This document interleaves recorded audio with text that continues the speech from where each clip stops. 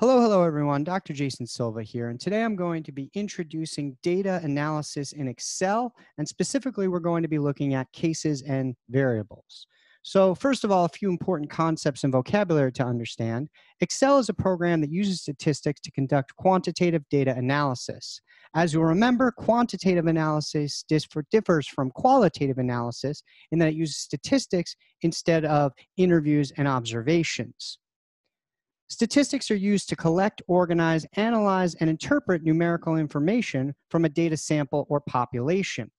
A population refers to the data from every individual of interest, while the sample is data from only some of the individuals of interest. So here we're looking at mass shooters. As you know, I'm a mass shooting scholar, and I've collected all of the instances of mass shootings between 2018 and 2019. Here we'll see all of the shooters, and these are what we would consider the cases or individuals under examination. This is only a sample of the population of attacks over the last 50 years. In other words, it only looks at cases from 2018 to 2019. It does not look at all mass shootings over the last 50 years. However, we can use a sample of instances in order to make educated guesses about the overall population. Now, the first column shows all of the mass shooters in each of the rows, as well as the variables for each of these mass shooters. So, for instance, age is a variable, sex is a variable, the date of the attack is when the mass shooter engaged in the attack.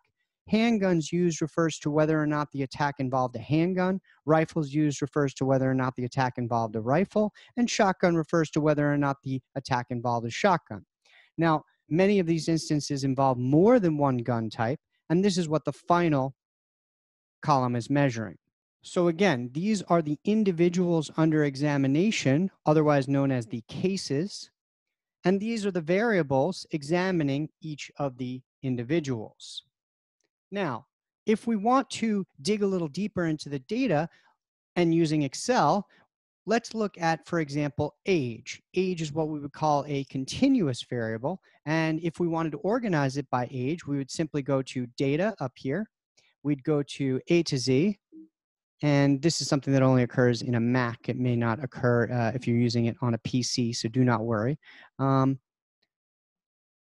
and here you'll see we've now sorted it by the age. Now, the first originally was Timothy Smith, but now he's been shifted down here. You see all of the other variables have remained in the rows they were in, so this does not mess up your data. It simply organizes this particular variable, the age variable, in the column. Now it's easier to see that the youngest perpetrator's age was 17 and the oldest perpetrator's age was 54 over the two-year period under examination. Let's look at another example. If we look at the sex, we see that this is a binary variable. Um, in other words, sex looks at whether or not someone is a female or a male. Uh, female is coded as zero and male is coded as one. So we see that there are a total of, and you can check the total down here, 15 males and only one female who engaged in a mass shooting over this period of time. Now, later on, when we get into sort of hypothesis testing and inferential statistics, we could make an educated guess that given the sample of cases over this two year period, we might suggest that the overall population of mass shooters is largely males. And this is, in fact, true. Um, let's look at, for example, handguns used now. Now, let's say we're interested in how many of these 16 instances involved a handgun. We would highlight by pressing uh, shift and then clicking. We'll see that there are of the 16 cases or individuals in this population, there are 10 that involved handguns. So this is one way to look at it. Another way would be to organize it, sort it, and it, you can similarly and as you can see, there are six individuals who did not use handguns and 10 individuals who did use handguns. Now, if we wanted to add this up, we could say, okay, there's 10 individuals who used handguns. There is eight that used rifles.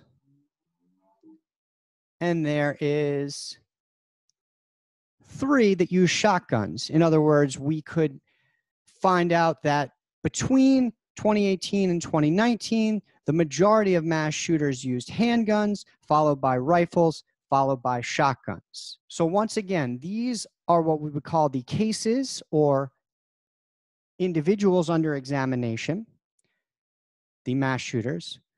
The variables past the mass shooters are what we are examining the variables or the characteristics of each of these individuals or the instances. And finally, something else to consider when we are coding, we know that female and male are what we call the attributes. So female is an attribute of sex, male is an attribute of sex. These are not what we would call the variables, they're the attributes of the variables. In this case, it's a binary variable. In handguns used, it's a binary variable. And so the attributes are yes, no.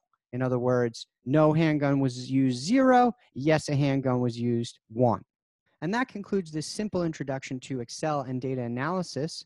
Feel free to comment below if you have any questions, comments, or concerns.